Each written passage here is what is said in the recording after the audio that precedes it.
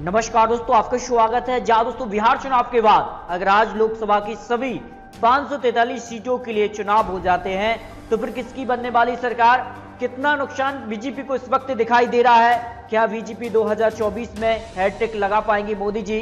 या फिर बीजेपी की होने वाली हार, इस पर आपको कुछ बड़े आंकड़े और बड़े सर्वे के आंकड़े देने वाले हैं, क्योंकि इस बार कुछ बड़ा बदलाव देखने को मिल सकता है लोकसभा चुनाव 2024 के लिए। क्योंकि जिस प्रकार से यहाँ पर जो अन्य दल रहे हैं एनडीए से अलग हुए हैं, चाहे वो अकाली दल की बात करें शिवसेना की बात कर लें, या फिर यहाँ पर झारखंड की जो पार्टी रही है, वो भी अलग हुई है। यहाँ पर बिहार की एलजीपी पार्टी भी अलग हो चुकी है। इसके अलावा शिवसेना और आम आदमी पार्टी ममता बनर्जी और अन्य जो दल है, वो अगर यूपीए के साथ जाते हैं तो फिर कहीं ना कहीं बीजेपी को नुकसान होने की संभावना है। अब नुकसान कितना होता है? क्या सरकार यानी बहुमत के आंकड़े से पीछे रह पाएगी? क्योंकि आंकड़े कुछ बेहद ही यहाँ पर चौंकाने वाले रहे 2017 में जहाँ बीजेपी की पूरे देश के अंदर लहर थी और बीजेपी कई राज्यों पर विधानसभा चुनाव हुए या पर लोकसभा चुनाव के जो नतीजे रहे थे, वो बीजेपी के पक्ष में रहे थे। लेकिन 2019 लोकसभा चुनाव से पहले और लोकसभा चुनाव के बाद कई राज्यों पर बीजेपी को जमकर नुकसान हुआ है। महाराष्ट्र, झारखंड, दिल्ली या अन्य राज्य। हालाँकि यहाँ पर बात करें तो बिहार में और यहाँ पर मध्य प्रदेश में बीजेपी ने सरकार तो बना ली। तो क्या इसका असर आने वाले अन्य राज्य जो हैं, उन पर पड़ने वाला है? और इसका सबसे ज़्यादा असर क्या लोकसभा चुनाव पर पड़ेगा? क्या मोदी जी की जो लहर है वो 2024 तक बरकरार रह पाएगी। या फिर कुछ बड़ा यहाँ पर होने वाला है, क्योंकि इस बार महागठबंधन कुछ बड़े दल शामिल हो सकते हैं। यहाँ पर कई जो दल रहे हैं बीजेपी के, एनडीए से अलग हो चुके हैं। तो इसका नुकसान कितना हो सकता है? 2014 में यहाँ पर दो सौ बयासी सीटें बीजेपी को हासिल हुई और एनडीए गठबंधन सरकार बनी। और 2019 के चुनाव में मोदी के नेतृत्व वाली बीजेपी को अपने दम पर 303 सीटें और यहाँ पर एनडीए जो गठबंधन था, वो लगभग यहाँ पर 350 सीटों के पार चला गया। तो क्या ये आंकड़ा 2024 में भी मिलने वाला है? इस आपको कुछ बड़े आंकड़े और बड़े सर्वे के आंकड़े देने वाले हैं। तो क्या 2024 में यहाँ पर मोदी जी हैट्रिक लगा पाएँगे। इस पर आपको कुछ यहाँ पर ताज़ा सर्वे के आंकड़े यहाँ पर देने वाले हैं। सबसे पहले बात करें देश की राजधानी दिल्ली के लिए लोकसभा चुनाव को लेकर लोगों का मन क्या है और इसके लिए क्या कुछ आंकड़े निकल कर आए हैं। यूँ तो बात करें तो विधानसभा चुनाव में एक तरफा जीत यहाँ पर अरविंद केजरीवाल जी को मिली है, लेकिन लोकसभा की सात सीटें यहाँ से आती हैं और सातों सीटों पर बीजेपी ने 2019 में जीत हासिल की। लेकिन क्या कामकाज के दम पर लोग क्या 2024 में अरविंद केजरीवाल को वो बहुमत दे पाएँगे जो यहाँ पर विधानसभा में दिया है? इस पर कुछ आंकड़े आपको देते हैं। बहुत संतुष्ट लोग उनके कामकाज को लेकर जो है, यहाँ पर उनसठ परसेंट लोग हैं। संतुष्ट की जो संख्या है, वो 24 परसेंट है। नाखुश केवल 17 परसेंट ही हैं। और ये वो बड़ा काकड़ा रहा था, जिसके दम पर यहाँ पर अरविंद केजरीवाल ने बीजेपी को बड़ी मात यहाँ पर विधानसभा चुनाव में दी थी।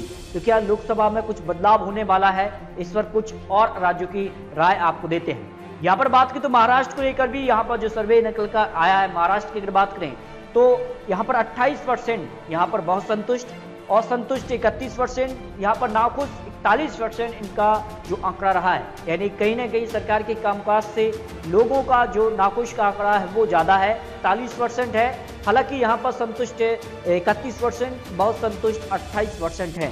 तो क्या इसका असर यहाँ पर शिवसेना उठा पाएगी लोकसभा के दौरान, क्योंकि अब वो बीजेपी से अलग हो चुके हैं और अलग होकर वो क्या एनसीपी कांग्रेस के साथ ही यहाँ पर लोकसभा चुनाव लड़ते हैं, ये काफ़ी महत्वपूर्ण हो जाता है। इसके बाद कुछ और आंकड़े आपको देते हैं। अगला राज्य, पश्चिम बंगाल, और पश्चिम बंगाल में आने वाले समय में इलेक्शन भी होने हैं और इसका असर कितना देखने को मिलता है।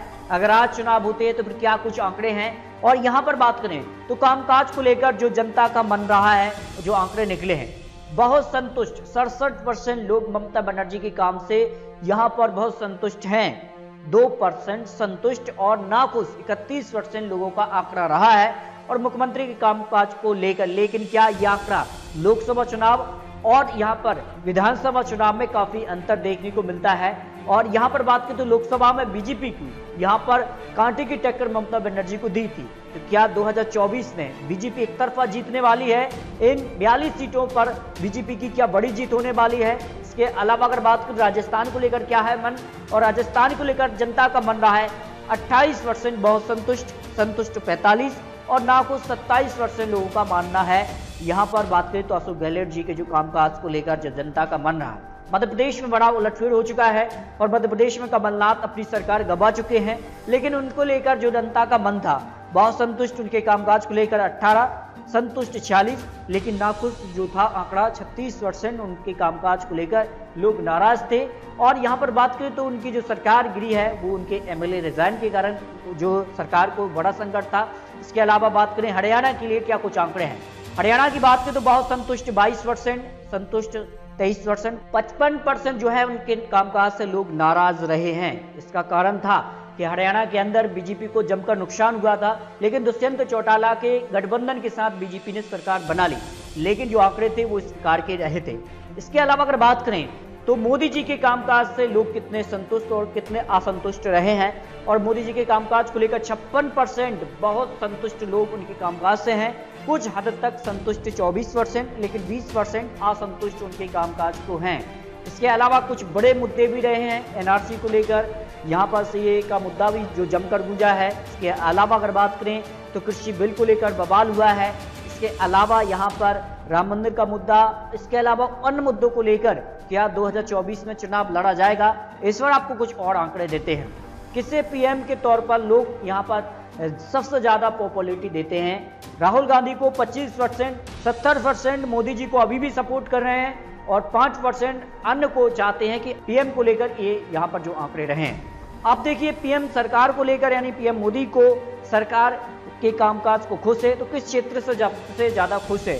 नॉर्थ ईस्ट की बयासी परसेंट लोगों का मानना है कि मोदी सरकार से वो खुश हैं। उड़ीसा के लिए अठहत्तर प्रतिशत और यहाँ पर उत्तर प्रदेश के लिए सड़सठ परसेंट, जम्मू कश्मीर के लिए साठ परसेंट मोदी सरकार के कामकाज से लोग यहाँ पर संतुष्ट हैं, खुश हैं, वो उनका मानना रहा है। अब देखिए, आपको कुछ और आंकड़े देते हैं। आप किस राज्य में कितनी सीटें इस वक्त मिल सकती हैं? लोकसभा चुनाव 2019 के कंपैरिजन में आज चुनाव होते हैं तो इतनी सीटें इन पार्टियों को मिल सकती हैं। यहाँ पर आंकड़ों की बात करें तो यहाँ पर एनडीए को किस राज्य से कितनी सीट मिल सकती हैं? यहाँ पर बात करें 2019 में चौसठ सीटें यूपी से मिली थी, लेकिन यूपी की बात करें तो उनहत्तर सीटें इस वक्त दिखाई दे रही हैं, क्योंकि राम मंदिर का जो मुद्दा है, उसका बेनिफिट बीजेपी को मिल सकता है। यहाँ पर बात करें तो बिहार के लिए बिहार में उनतालीस सीटें 2019 के अंदर, लेकिन बिहार के लिए इस वक्त 36 सीटें मिल सकती हैं। यहाँ पर बात करें राजस्थान के लिए 2019 में 25 सीटें, लेकिन आज चुनाव तो 21 सीटें बीजेपी को यहाँ पर एनडीए जो गठबंधन है उसको मिल सकती हैं। यहाँ पर दिल्ली की बात करें 2019 में भी सात सीट, लेकिन आज चुनाव होते हैं तो सात सीट अभी भी बीजेपी एनडीए गठबंधन को जा सकती हैं। बंगाल की बात करें 2019 में 18 सीटें, लेकिन इस वक्त चुनाव तो 22 सीटों तक यहाँ पर एनडीए गठबंधन पहुँच सकता है। एमपी की बात करें तो आज अगर चुनाव होते तो 25 सीटें एनडीए गठबंधन को जा सकती हैं। गुजरात की बात करें 2019 में 26 और आज चुनाव होते तो 26 की 26 सीटें यहाँ पर निकल सकती हैं। महाराष्ट्र में बड़ा उलटफेड़ हो सकता है, क्योंकि महाराष्ट्र में 2019 में इकतालीस सीटें बीजेपी, एनडीए गठबंधन को गई, जिसमें शिवसेना थी, बड़ी पार्टी थी, लेकिन वो अलग हो चुकी है। इससे कहीं ना कहीं एनडीए गठबंधन को नुकसान हो रहा है और यहाँ पर 21 सीटों तक महाराष्ट्र में अगर आज चुनाव होते हैं तो आंकड़े तक पहुँच रही है। यानी शिवसेना कहीं ना कहीं बीजेपी को जमकर नुकसान यहाँ पर लोकसभा चुनाव में भी दे सकती है। इसके अलावा असम की बात करें तो 2019 में नौ, लेकिन अभी चुनाव को 10 सीटें मिल सकती हैं, ये आंकड़े हैं। अब सारे आंकड़ों के बाद अगर आज चुनाव होते हैं तो किसके खाते में कितना वोट शेयर जा सकता है? सबसे पहले बात करते हैं, एनडीए गठबंधन को कोई नुकसान नहीं होता नज़र आ रहा है। यहाँ पर वोट परसेंटेज में जो पहले वोट शेयर था, वो इस वक्त भी दिखाई दे रहा है। यूपी की बात करें तो यूपी में ज़बरदस्त उछाल हो सकता है, क्योंकि अब चुनाव के लिए जो आंकड़े हैं, कई पार्टियाँ और जो अन्य गठबंधन जो एनडीए से अलग हुए हैं, वो एनडीए गठबंधन से अलग होकर यूपीए गठबंधन में जा सकते हैं। इससे कहीं ना कहीं एनडीए का जो वोट शेयर है वो घटेगा और यूपी का जो वोट शेयर है वो बढ़ने की संभावना यहाँ पर दिखाई दे रही है। लेकिन सवाल ये है, क्या वो दल यूपीए गठबंधन के साथ चुनाव लड़ते हैं तभी आंकड़े बन सकते हैं? इसके बाद अगर बात करें तो किस पार्टी को कितनी सीटें और किस गठबंधन को कितनी सीट यहाँ पर मिल सकती हैं? 2019 में तीन सौ तिरपन सीटें एनडीए गठबंधन को मिली, लेकिन आज चुनाव होते हैं तो फिर 330 सीटों तक एनडीए गठबंधन पहुँच रहा है। यानी कहीं ना कहीं एनडीए गठबंधन को लोकसभा चुनाव 2024 में नुकसान हो सकता है, क्योंकि कई जो दल हैं, उनके वो अलग हुए हैं, इसका नुकसान यहाँ पर दिखाई दे रहा है। लेकिन इतना नुकसान नहीं है कि एनडीए जो गठबंधन है, वो बहुमत का जो आंकड़ा है, उससे पीछे जाए।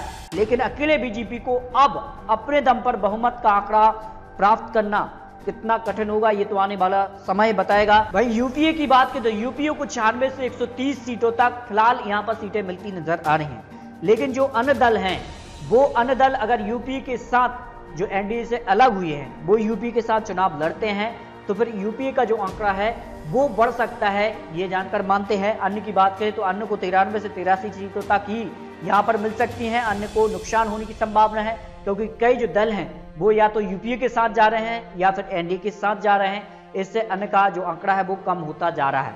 तो दोस्तों, ये कुछ आंकड़े आपको लोकसभा चुनाव के लिए दिए हैं, फिर भी आपको क्या लगता है? क्या आने वाले समय में लोकसभा चुनाव की 543 सीटों पर एनडीए, यूपीए, अन्य को कितनी सीटें मिल सकती हैं? क्या एनडीए गठबंधन 2024 में भी अपनी सरकार बना पाएगा या फिर कुछ बड़ा बदलाव होने वाला है, इस पर अपनी राय कमेंट बॉक्स में रख सकते हैं। और इसी प्रकार की और लेटेस्ट महत्वपूर्ण जानकारी पाने के लिए, अभी चैनल को सब्सक्राइब कीजिए। तो दोस्तों, मिलते हैं और सटीक और महत्वपूर्ण जानकारी के साथ, तब तक के लिए जय हिंद, जय भारत।